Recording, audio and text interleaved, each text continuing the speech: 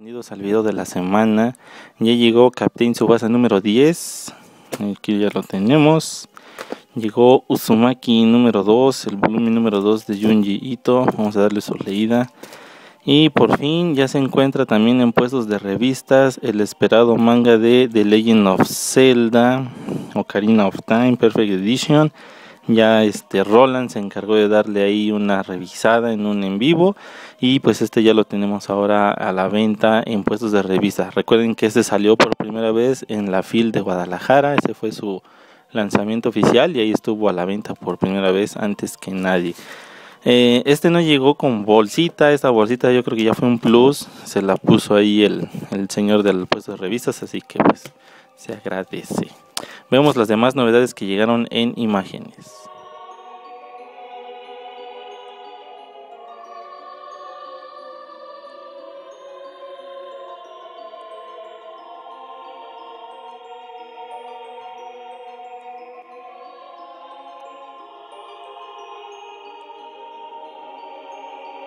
Estas fueron las novedades de esta semana. Eh, ya estamos por finalizar el año.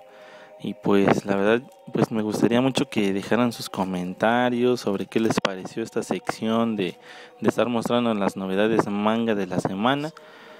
Eh, no olviden suscribirse a este canal, darnos like en Facebook, seguirnos también en Twitter e Instagram. Y pues bueno, nos vemos en el siguiente video. Bye bye.